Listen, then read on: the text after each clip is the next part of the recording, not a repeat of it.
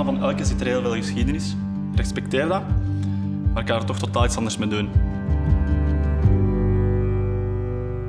Ik ben Elke, ik ben 26 jaar. Ik ben hier twee jaar geleden komen wonen. Daarvoor was het hier een bed and breakfast. Dat is hadden gerenoveerd, want het is een huis uit de 17e eeuw. Ik heb in de kelder oude dakpannen gevonden. Ik veronderstel van toen ze het hier gerenoveerd hebben. Het zijn ook vrij mooie dakpannen. Dus uh, ja, als we daar iets mee kunnen doen, zou dat wel super zijn natuurlijk.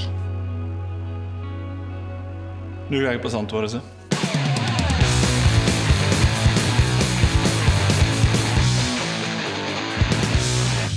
Ik heb een malk gemaakt voor alles in te doen natuurlijk. We gaan onze brokstukken van de dakpannen erin doen. Cement of de beton erover. Ons deksel erop. Daar gaan wel wat uitkomen natuurlijk. Als dat vast staat, een beetje op tikken, dat de luchtbelletjes er wat uit kunnen komen. En dan gewoon een dagje laten drogen. We kunnen natuurlijk geen 24 uur op wachten. Dus heb ik al een andere gemaakt. De epoxy is al aangebracht.